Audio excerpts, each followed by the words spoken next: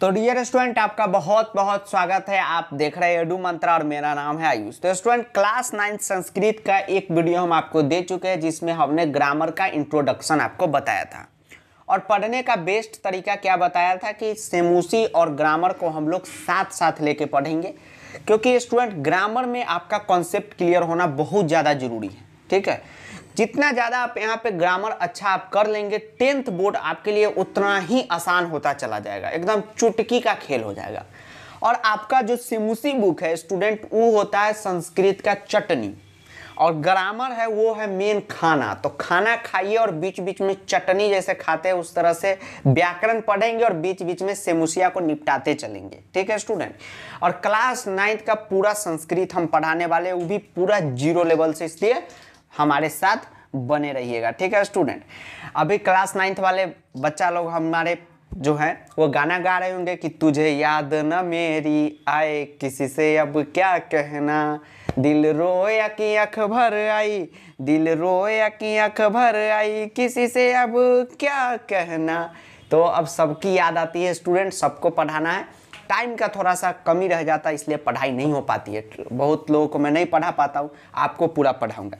तो आज स्टूडेंट हम लोग एक सुपर हॉट टॉपिक करने वाले हैं, जिसका नाम है अव्यय। बड़ा बढ़िया टॉपिक है।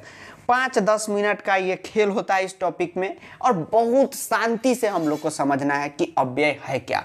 तो चलिए शुरू करते हैं। तो देखिए स्टूडेंट अव्यय किसे कहते हैं? वही परंपरागत तरीका मेरा ट्रेडिशनल पढ़ाने का कि पहले आपको परिभाषा पढ़ देंगे और उसके बाद उस परिभाषा का पोस्टमार्टम करेंगे। मतलब पूरा डिटेल में घुस जाएँगे और पूरा एक एक चीज़ हिंग से लेकर हल्दी तक आपको समझा देंगे। तो अव्यय किसे कहते हैं?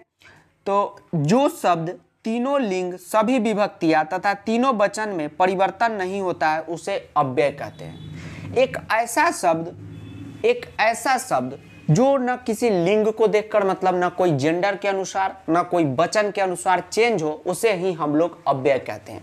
जैसे क्लास में देखते होंगे, एगो होता है हेहर बच्चा, जिसको साइंसों का मास्टर अगर थूड़े, तैयो नहीं पढ़ेगा। मैथों का थूड़े, तैयो नहीं पढ़ेगा।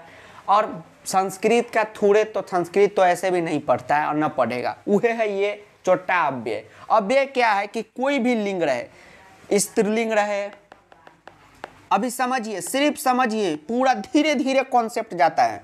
कॉन्सेप्ट बहुत बड़ा चीज़ है स्टूडेंट एक बार में नहीं घुसता है धीरे धीरे घुसता है।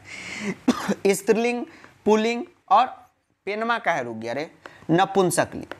अव्यय है, स्त्रीलिंग रहे, कोई चेंज नहीं, वही स्टाइल पुलिंग रहे, कोई चेंज नहीं, वही स्टाइल नपुंसक लिंग रहे, कोई चेंज नहीं, वही स्टाइल उसी तरह स्टूडेंट जितना भी विभक्ति रूप है शब्द रूप विभक्ति, कोई चेंजिंग नहीं। फिर वचन में आप देख लीजिएगा, वही एक वचन, दुई वचन, बहुवचन, तीनों वचन में कोई चेंज नहीं। मतलब हमेशा वही शब्द रहेगा। उसी को अव्यय कहते हैं। जो तीनों लिंग या कोई भी विभक्ति, कोई भी वचन के अनुसार न बदले, उसे ही हम लोग क्या कहते हैं? अव्यय कहते हैं।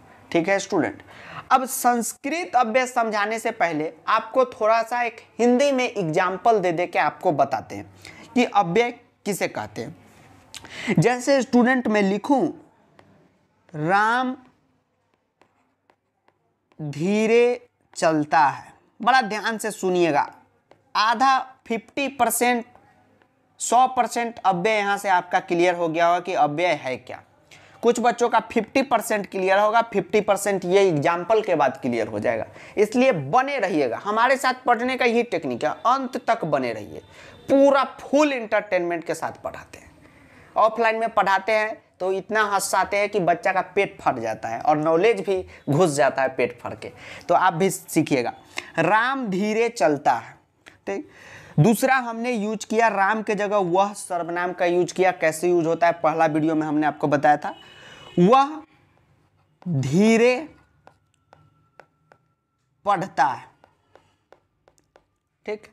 यहाँ पे दो शब्द है कि राम धीरे चलता है। इससे क्या मतलब निकला कि राम जो है वो धीरे चलता है, वह धीरे पढ़ता है। रामे के बारे में वह लिख गया, वह लिखाया यहाँ पे मतलब कि वह धीरे चलता भी और धीरे धीरे पढ़ता भी है।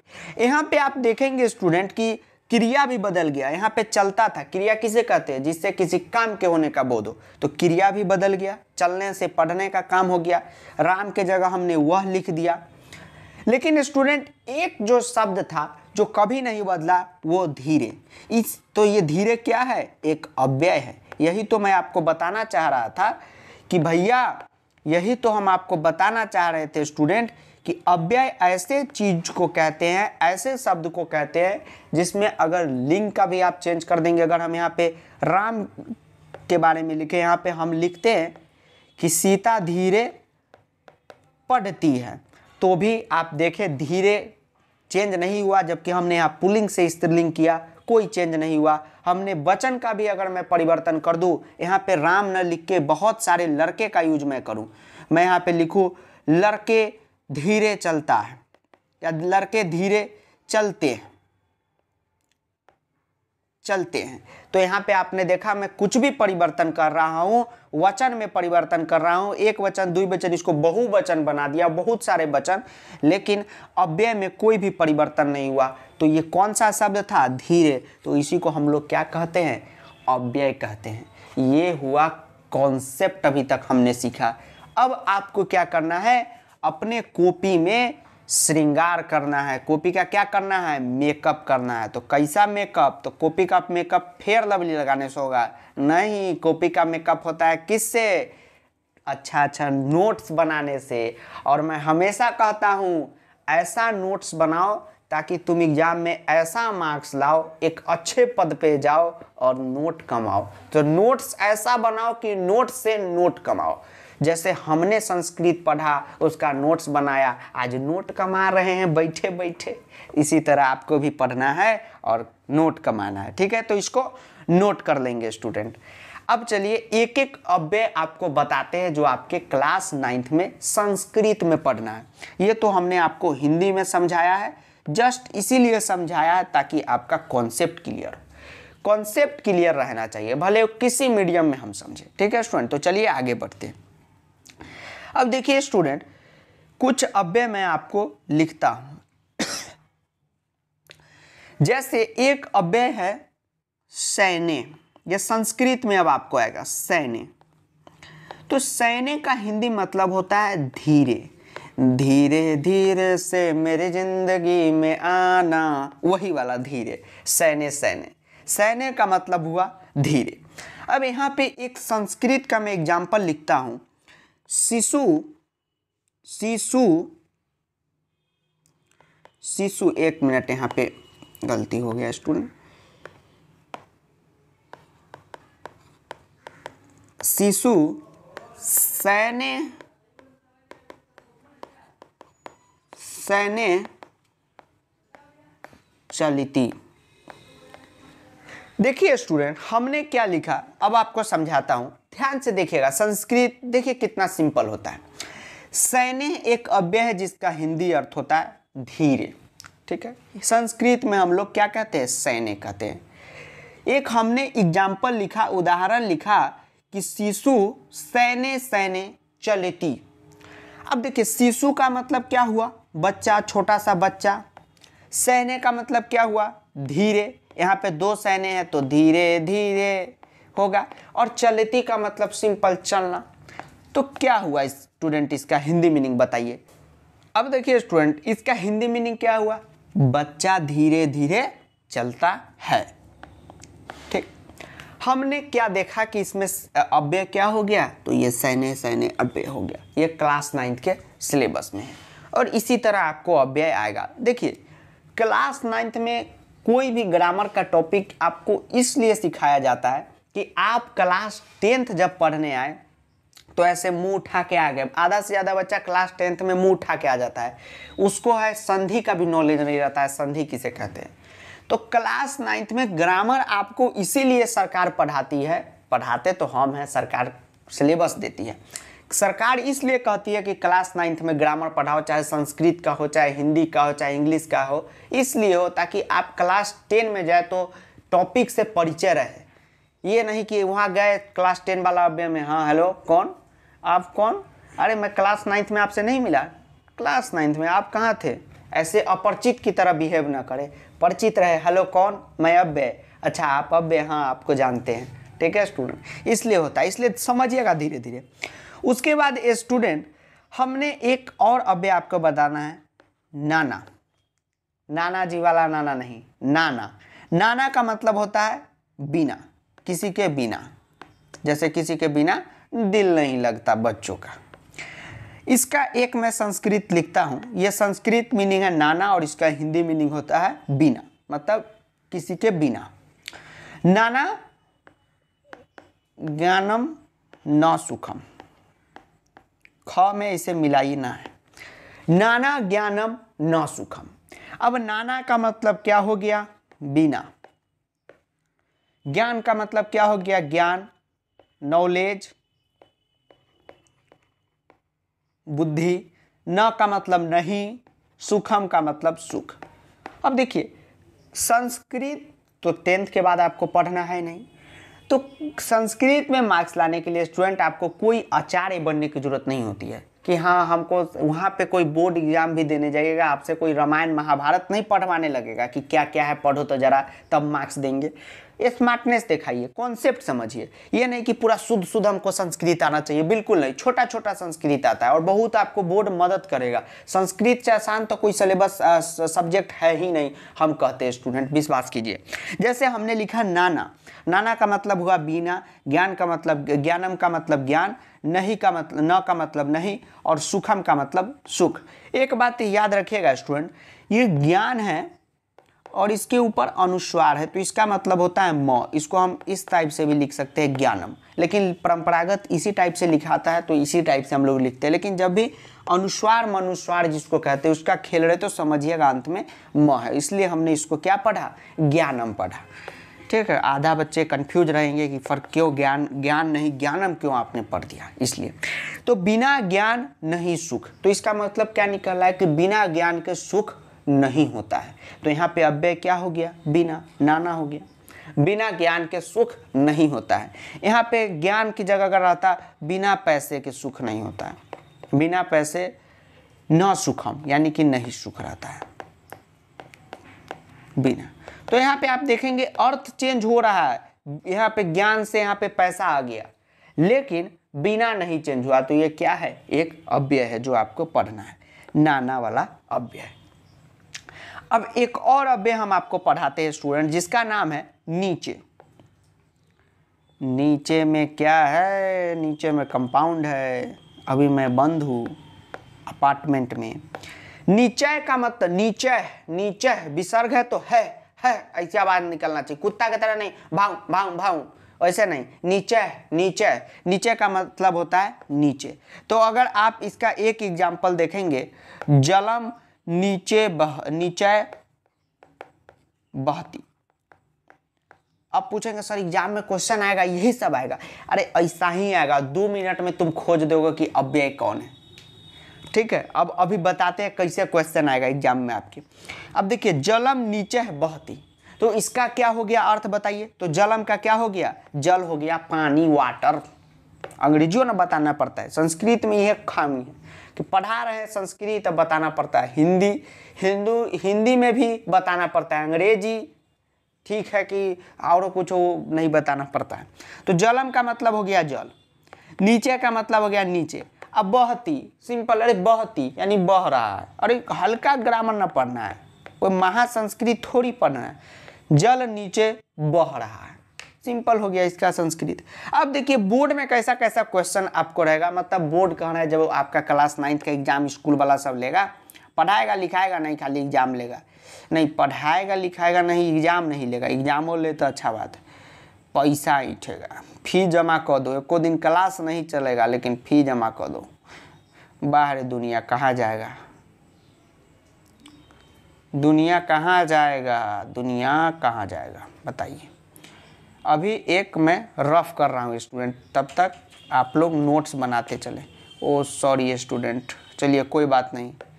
यहाँ पे मैं ला दिया। जिसको जिसको नोट करना है, चलिए, नोट्स बनाइए पहले। ठीक है? अब हम रफ कर रहे हैं। नोट्स बनाने से पहले रफ कर देना, ये गलत बात था। अब चलिए, जो एग्ज़ाम में कैसे क्वेश्चन आते हैं वो बताते हैं आपको।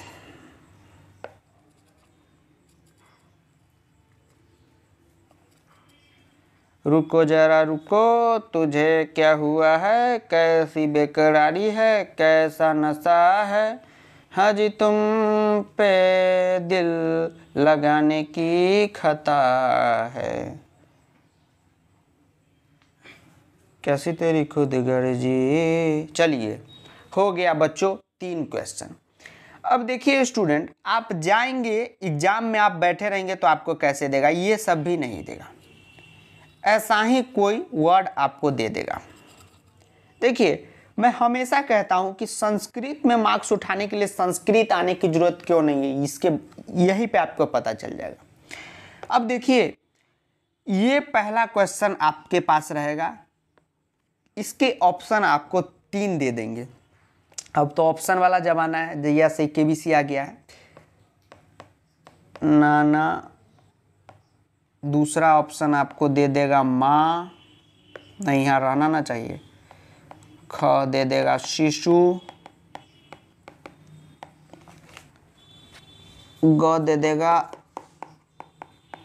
सने ठीक है? अब स्टूडेंट ये क्वेश्चन आपको देगा एग्ज़ाम में। ठीक है? यह क्वेश्चन तुमको देगा। और कहेगा कि इसमें से अव्यय पहचानो क्या है। अब देखिए स्टूडेंट आधा से ज़्यादा बच्चा जो नहीं पढ़ के गया रहता है, जो लेक्चर नहीं देखा रहता है, वो क्या करता है? माथा खुल जाएगा। शिशु सैने सैने चलती। अरे इसका मतलब क्या हुआ? कुछ भेटी ठेकानी ठेकेगा। जय माता दी जय माँ सरस्वती, हे दुर्गा माँ, हे लक्ष्मी माँ। क, चलो, यही क मार के आ गए ऐसे नहीं करना है। देखिए आपको क्या काम करना है? जितना भी वर्ड दे आ रहे उसको पहले ध्यान से पढ़िए। उसका हिंदी मीनिंग आपको आए चाहे नहीं आए कोई मतलब नहीं है।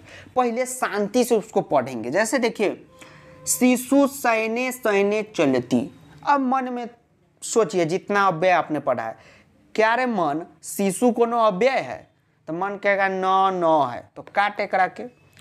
मन से पूछिए, अरे चलती कोई अव्यय है? तो न, चलती तो नहीं है। काट इसको। बचा कौन? सैने सैने। बचा है तो ये नहीं कि ये आंसर मार देंगे। अभी मन से पूछ लेंगे। रे सैने सैने अव्यय है हाँ अव्यय है। पढ़ाए थे आयु सर पहले अव्यय तो मारो सैने ही आंसर है। उसी तरह, दूस, इसके लिए कोनो संस्कृत आने का ज़रूरत हुआ? खाली अव्यय याद रखना है। अव्यय को माथा में याद रखना है। सेट कर लेना है कि अव्यय कौन है। अब मान लीजिए यहाँ पे क दे, यहाँ पे आपको अव्यय दे अपी यहाँ पे कंफ्यूज करने के लिए ज्ञान, ये सब लिख देगा। ज्ञान और ग देगा नाना। नाना जी ओ नाना जी। अब देखिए, नाना ज्ञानम न सुखम। हिंदी आ रहा है, ना आ रहा है उसे कोनो मतलब नहीं पूछेंगे, ज्ञान क्या अव्यय है? नहीं। न क्या अव्यय है? नहीं। सुखम क्या अव्यय है? नहीं। नाना क्या अव्यय है? बिल्कुल है, ऑप्शन ग सही। उसी तरह स्टूडेंट नीचे आपको ऑप्शन क्या दे देगा? ये वाला क्वेश्चन तो एकदम मस्ट याद रखिए। ये नौमा का जो एग्ज़ाम होता है, उसमें क्वेश्चन सीबीएसई बोर्ड से आता है। ये सब क्वेश्चन तो मस्ट आपको दिखेगा। जलम नीचे बहती। सिंपल होता है, इसलिए दे देता है। अब देखिए कैसे बना देंगे। जलम ख नीचे ग क्या हो जाएगा? बहती। अब देखिए स्टूडेंट ये कैसे बनाएँगे? जलम क्या अव्यय है? नहीं है। नीचे क्या अव्यय है? हाँ है। आगे वाला भी पढ़ लेते हैं। दिमाग से आउट भी ना हो सकता है। बहती अव्यय है। नहीं है मतलब ख आंसर क्या है? सही है। अब देखिए स्टूडेंट अब आपके मन में सौ परसेंट बच्चा देख रहा है, सौ गो बच्चा। सत्तर बच्चा क्लियर होगा कि हाँ ठीक है, ऐसे पकड़ लेंगे। तीस बच्चा कहेगा कि, सर, हमको याद कैसे रहेगा कि ये अव्यय है, नहीं है? कैसे याद रहेगा? तो स्टूडेंट जितना अव्यय आपको क्लास नाइन्थ में पढ़ना है, वो आपके सिलेबस डाउनलोड कीजिएगा, उसमें भी दिया हो, उतना मेहनत क्या कीजिएगा? अरे हम बताएँगे क्या क्या पढ़ना है। सब अव्यय आपको लिखा देते हैं, उसका हिंदी मीनिंग आपको लिखा देते हैं। बस उतना याद रखिएगा कि हाँ अव्यय कौन कौन है? तो ये नीचे अव्यय होता है सैन्य सैन्य अव्यय होता है, इसका हिंदी मीनिंग ये है। सर, याद कैसे करेंगे? सर यादवे तो नहीं होता है। साइंस मैथ तब पढ़वे नहीं करते हैं ट्यूशन जाते हैं तो स्कूल जाते हैं तो कॉलेज जाते हैं। संस्कृत कैसे याद होगा? पढ़ना लेना। और रास्ता में जो गर्लफ्रेंड से चैटिंग बॉयफ्रेंड से चैटिंग होता है, उतना देर में उसको पढ़ना है। एक बार देख लीजिएगा, पढ़ना अपने आप याद हो जाएगा। तो चलिए स्टूडेंट लिख देते हैं आपको पूरा अव्यय और उसका हिंदी मीनिंग भी आपको लिख देते हैं। तो सभी बच्चे अपना कलम, पेन उठा ले, और हमको कोई नहीं देखेंगे। ये बात है कि हम बहुत सुंदर व्यक्ति हैं, और फ़िल्म स्टार से कम तो नहीं है। फ़िल्म उलिम दस को बीस को ठुकरा दिए, हमको पढ़ाने का मन था, समझे? तो हमको कोई मत देखे, स्क्रीन पे देखे, समझे स्टूडेंट? स्क्रीन पे सभी लोग देखेंगे। नहीं तो फ़िल्म तो हम लोग बहुत ठुकराए हुए हैं। अभी जितना भी फ़िल्म आने, दबंग हम ही करने वाले थे, लेकिन हमको मन नहीं किया, इसलिए छोड़ दिए। चलिए, लिखते हैं, पढ़ाने का मन है। नाना नाना मामा वाला। तो नाना एक अव्यय है जिसका हिंदी अर्थ होता है बीना। ठीक? उसके बाद एक अव्यय आप लिख लीजिए सैने जिसका अब ये बताए हैं, धीरे धीरे से मेरे ज़िंदगी में आना इंजॉय लेके पढ़ना है। सैने सैने कम टू माई लाइफ अंग्रेज़ी प्लस संस्कृत का मिक्सअप क्या क्या होगा? बताइए। अब एक लिखता हूँ। तृष्णीम, इसका बताइए। चुपचाप चुपचाप चुपचाप कलम छाप। उसी तरह बही बही का मतलब होता है बाहर। जो घर से बाहर आपको निकाल देते हैं आपके मम्मी पापा।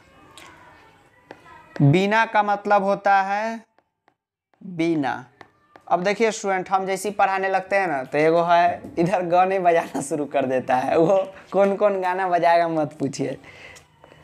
जैसे गर्लफ्रेंड उलफ्रेंड छोड़ के नहीं भाग जाती, वो है पुराना जमाना वाला। हम तुमसे प्यार करते, ये बता नहीं सकते। देखिए, आपको आवाज़ भी आ रहा होगा। अरे कॉपीराइट लगवाए भी कि रे। एक और लिख लीजिए, उच्चय। उच्चय का मतलब होता है ज़ोर से, धीरे धीरे से और इधर ज़ोर ज़ोर से। गाना बजा रहा है। ये साउंड कम करो जी। अर्थ का मतलब होता है प्रारंभ, यानी कि स्टार्ट उसके बाद वृथा लिख लीजिए। वृथा का मतलब होता है व्यर्थ। जैसे अभी आप लोग व्यर्थ में नेट उड़ाते हैं, पढ़ते नहीं हैं, यहाँ पबजी खेलेंगे, मैच देखेंगे, क्रिकेट मैच देखेंगे। विराट कोहली कैसा कपड़ा पहना था, वो देखेंगे। अरे विराट कोहली मैंगो फ्रूटी पिया कि पानी पिया, ये जानेंगे, लेकिन ये नहीं जानेंगे कि संस्कृत में अव्यय है कि पढ़ता है आज का क्लास। चलिए, इतना पढ़िए। उसके बाद एक लिख देते हैं अपी। बड़ा इंपॉर्टेंट अव्यय है अव्यय है, अपी। अव्यय।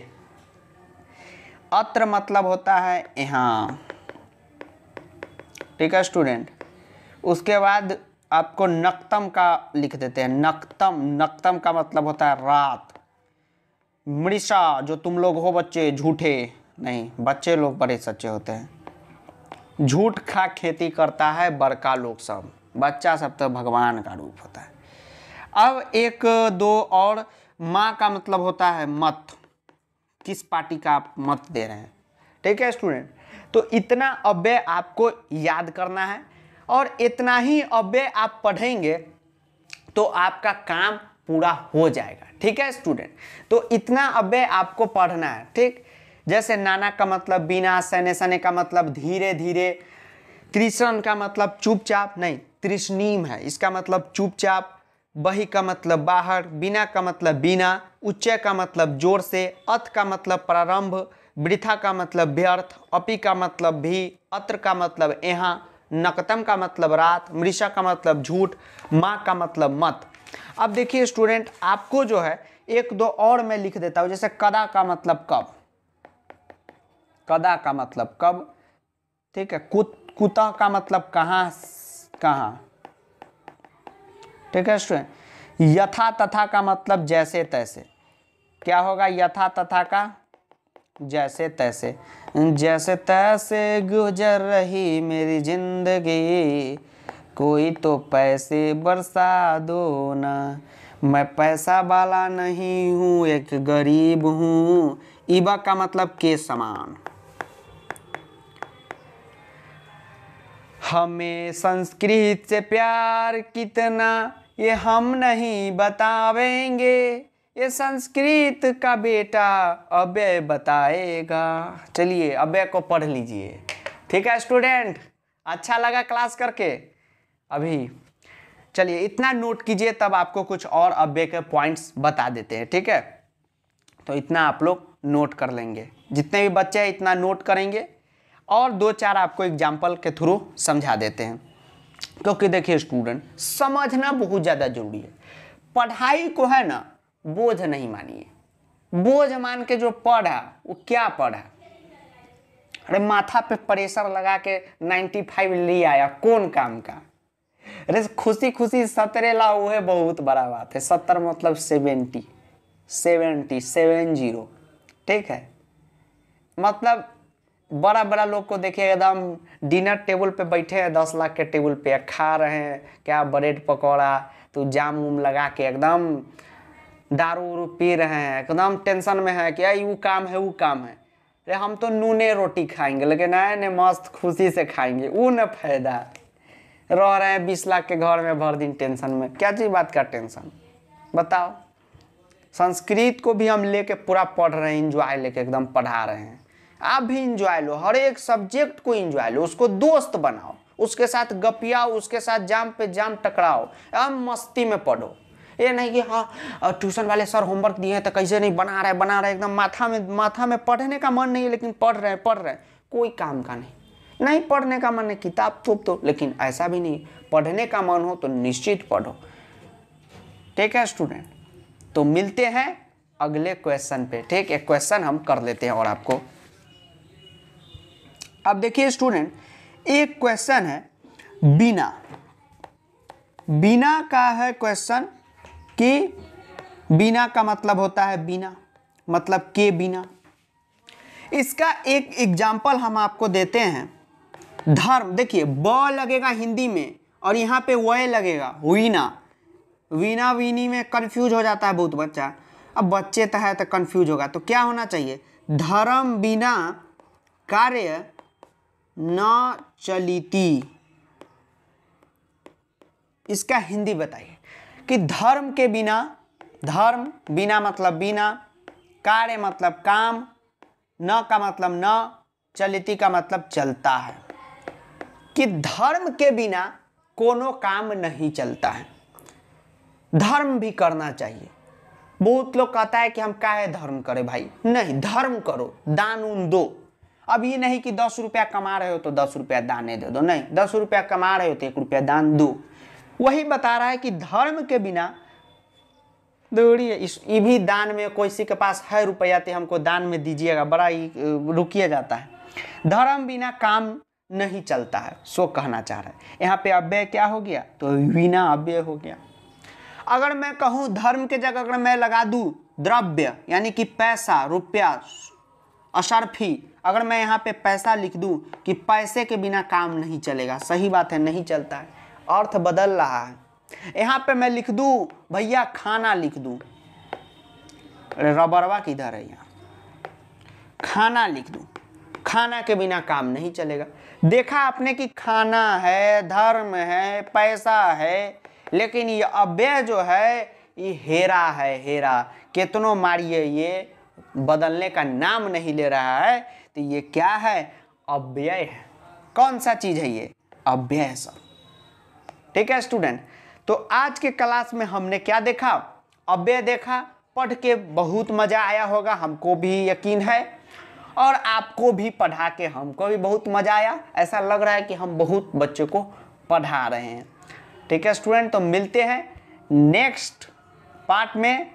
अव्यय का नहीं नेक्स्ट कोई ग्रामर का टॉपिक हो या हमारा सेमूसी का टॉपिक हो, आप लोग नीचे कमेंट कीजिएगा कि अगला टॉपिक क्या रहना चाहिए, उसी हिसाब से पढ़ाएँगे। तो तब तक के लिए जय हिंद बंदे मातरम, ओके, आदाब, नमस्कार बाय ठीक है स्टूडेंट चलिए, धन्यवाद।